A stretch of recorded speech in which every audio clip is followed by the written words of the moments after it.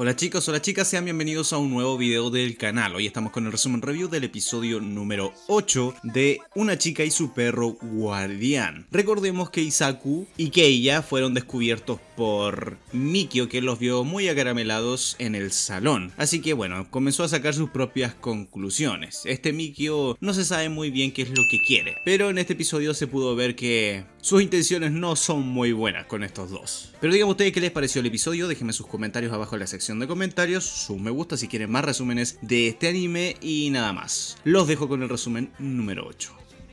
Mikio descubrió a Keiya y a Isaku muy acaramelados y les preguntó directamente si acaso se estaban acostando. Isaku intentó negarlo, decirle que no es así, que es mentira, pero evidentemente con todas las situaciones que ya hemos visto y con todo lo que pasó aquí, el casi beso de Isaku con Keiya dice lo contrario y hay que ser un poco tonto también como para no pensar en otra cosa. Aunque Keiya le dice muy seriamente que no, que están bien, que no están haciendo nada de eso y como que ella le da un poco de miedo a Mikio, él dice que bueno, que no pasa nada, que les cree. Evidentemente eso no se iba a quedar ahí. Al siguiente día continúa todo con la preparación del festival y algunas chicas ya habían diseñado los vestidos, la indumentaria, todo lo que van a utilizar para la obra de Romeo y Julieta. Todo muy bonito y bueno, están preparando todo eso. Obviamente lo importante aquí es que Mikio sigue preguntándole a Isaku qué tipo de relación tienen ellos dos, o sea, ella con Keia, si acaso están saliendo, si ya lo están haciendo y cosas así. Pero ella intenta negarlo, aunque es como un libro abierto, como el mismo Mikio dice. Se nota que ella está enamorada o tiene sentimientos por Keia. Ahora lo importante es saber si acaso Keia tiene sentimientos por ella, porque bueno, él es mucho más serio y los oculta fácilmente, aunque no tanto, porque ahí mismo Keia los estaba mirando de reojo y Mikio se dio cuenta, así que básicamente su misión ahora es descubrir qué es lo que siente Keia.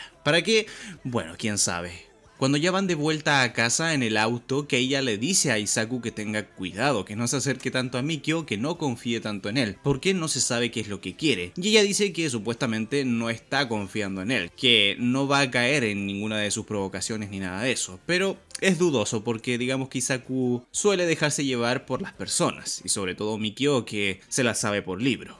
Al siguiente día Mikio sigue insistiéndole a Isaku que le cuente qué es lo que más le gusta, si acaso su cara porque es muy atractivo y todo eso. Y como Isaku le dice que es un secreto que no tiene que decirlo a tan viva voz, él, bueno, comienza a gritar que a Isaku le gusta un Yakuza, pero no alcanza a decirlo completo porque ella lo para y bueno, como está obligada, le termina contando qué es lo que más le gusta de Keia. Y sí, le gusta su cara, pero sus manos y bueno, completo, está enamorado de él, así que todo le gusta. Y como ella se sonroja y bueno, comienza a hablar tan libremente de sus sentimientos por Keia. Keia que estaba ahí viendo todo el tema de la indumentaria, una espada de utilería con otra chica, se da cuenta de esta situación y ya no aguanta más. Se acerca a Mikio y casi, bueno, lo corta con la espada. Si hubiera sido una espada de verdad, ahora tendríamos dos Mikio. Todos se sorprenden porque Mikio terminó cayendo sobre los escritorios y bueno, todos se espantaron e incluso la espada se partió por la mitad. Así que Isaku después se llevó a la azotea a Keiya para reprenderlo y porque, bueno, porque había hecho eso. Y evidentemente que ya no podía aguantar más. Recordemos que él es un yakuza, tiene un instinto asesino bastante vivo y bueno,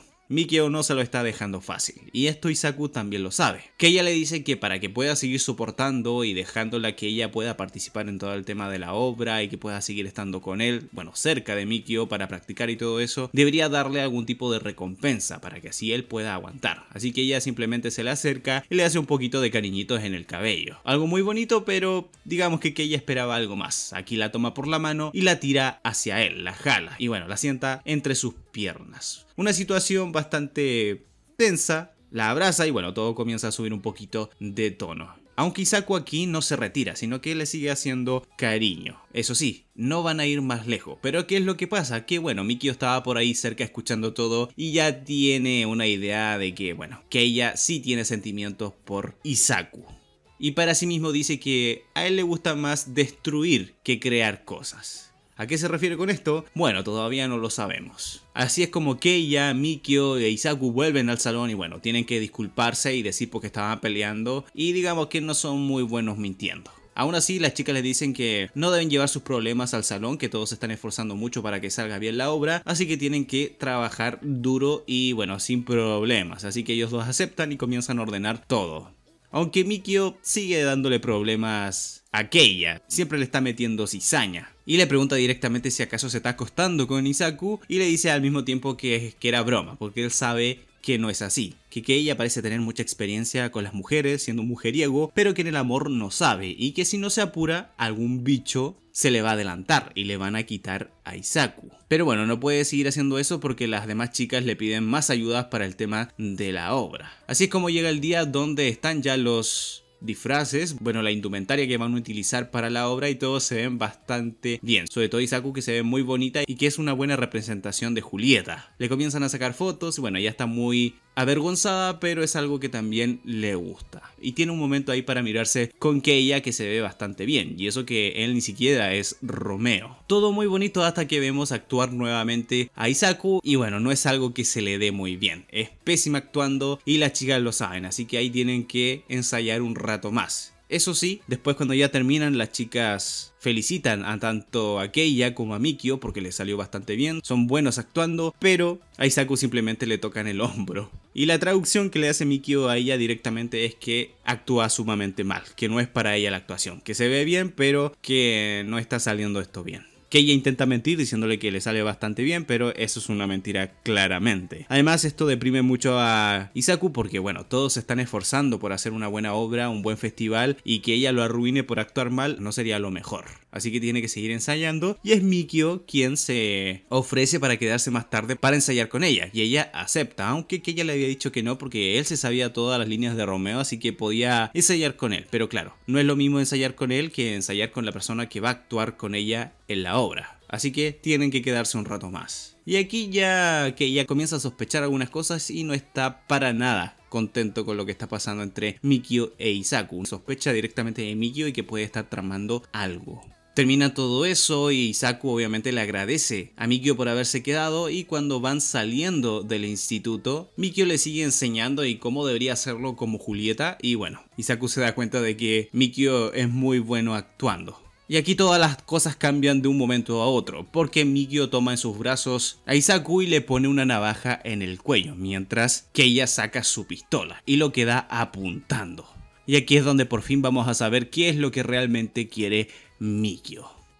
Así termina el episodio número 8 de Una chica y su perro guardián. Un episodio bastante intensito, sobre todo por la reacción que tiene Mikio con los dos protagonistas. Y bueno, ahora le puso una navaja en el cuello a Isaku, así que supongo que veremos qué es lo que quiere y qué es lo que tramó todo este tiempo. Pero díganme ustedes qué les pareció todo esto, déjenme sus comentarios, suscríbanse y nada más. Muchas gracias por ver y nos vemos en un próximo video.